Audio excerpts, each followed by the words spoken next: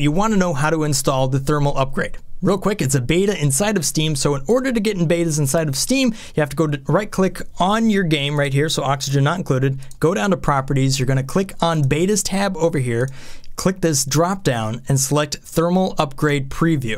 At this point, the game will start downloading and it will download 128.6 megabytes and at that point you will have the upgrade installed. Alright so now you can see that the download has finished. It now says oxygen not included thermal upgrade preview right next to it. So here we are, we're in the game, you can see how this has changed. You will see a pop-up right here that shows you some of the new stuff that has come, you know, with this update. All right, one more question you're probably gonna have is, can you load up your current saved games in the thermal upgrade version? The answer is no, no you cannot, you have to start a new game. If you wanted to get back to loading up these games and playing them a little bit more, you have to undo the beta.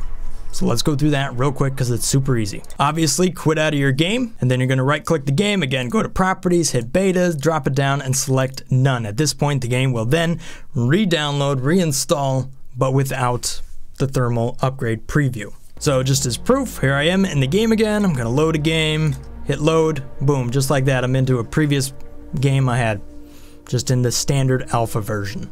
And here we are, Base Gigantus. And one update for you is my base planner tool has been coming along quite nicely. It has been really working out and it is accurate as far as the alpha version goes. However, I'm going to update it with all the new buildings that we now have available to us in the thermal upgrade expansion or beta or whatever we're going to call that. That sort of thing, I'm going to make sure that's updated and I'm going to be releasing this in the next couple of days. So hopefully you guys find this stuff helpful. Let me know in the comment section below. Thanks for watching, guys. Have a great day and I'll see you again next time. If I've earned your subscription, then thank you so much for that. Stay awesome. Peace. Brothgar out.